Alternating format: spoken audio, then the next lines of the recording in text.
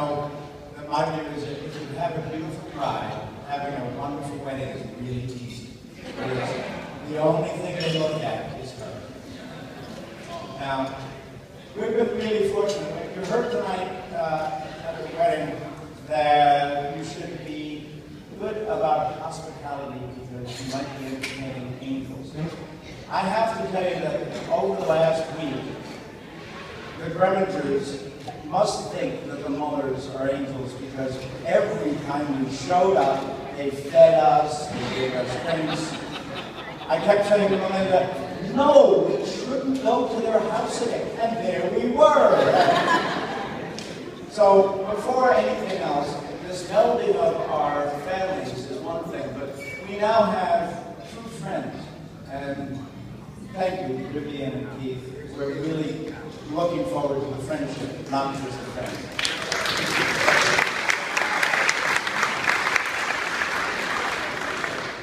And I would be remiss, I really want to point out, from Melinda and I, we want to thank Vivian because the decor is so incredible and we know how much you work on it. Because we live in Austin and Lizzi's here in Tampa, they've really been our surrogate partners in this, and Vivian, really thank you very much.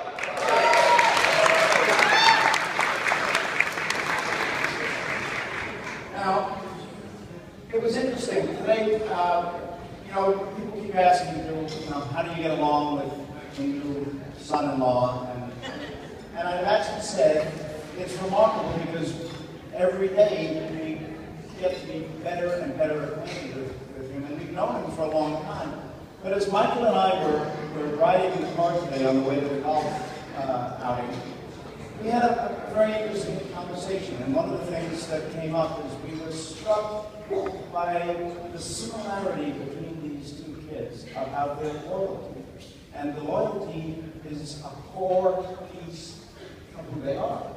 And the, the loyalty on Lizzi's side, the Fab Five are here. She has been friends with them since seventh grade which, if you do the math, is a long time ago. She met them, and they have been through everything together. And then we came to find out that there's the Fielding industry group that have been friends. I asked Mike and how long have you been friends? And it was, well, we don't know. We don't remember not being friends. Who has lifetime friends like that? That's what we think of, I think is the true measure of who our kids are. So this is really remarkable that, that we can celebrate tonight with on this. As you guessed, this is truly a Florida State event.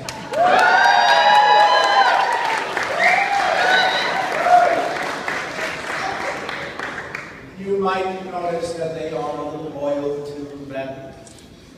And,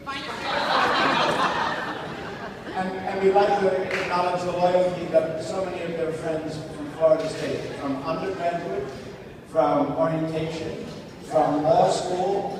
This is a remarkable testament to their well. We said the other night that uh, the, uh, the Florida State motto of strength, skills, and character truly embody both of them. They live Florida State, so we just think phenomenal.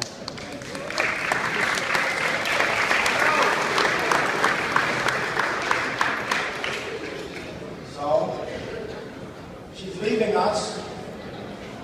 She's almost gone. Melinda and I are, are really happy that we, we've had a all join us.